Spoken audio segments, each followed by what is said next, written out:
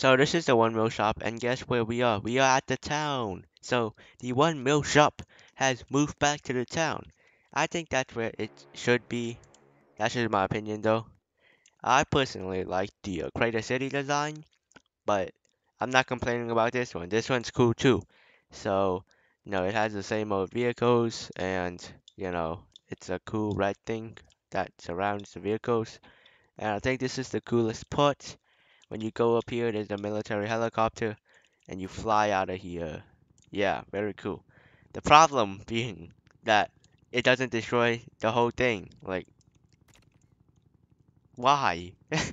but, yeah, that's the one mill shop in the town.